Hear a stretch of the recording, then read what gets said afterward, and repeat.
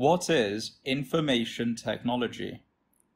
IT, or information technology, refers to the development, maintenance, and use of computer software, hardware, and networks. It includes their use for the processing and distribution of data. Data refers to information, facts, statistics gathered together for reference, storage, or analysis. Software includes all the computer programs within a computer. Computers cannot work without software. Hardware, in this context, refers to the physical components of a computer system.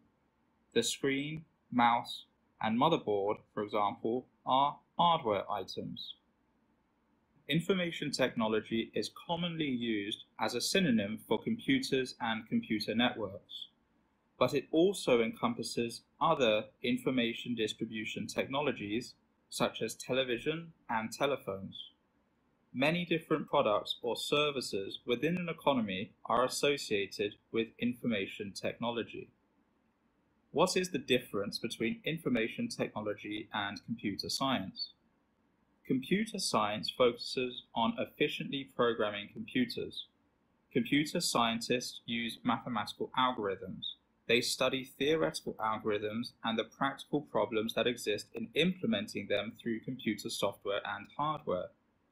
AI, computer graphics, and programming are subfields of computer science. Software engineering is also part of computer science. Information technology, on the other hand, involves installing, organizing, and maintaining computer systems.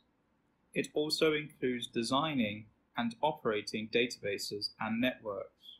Thank you for watching this Markets Business News video on information technology.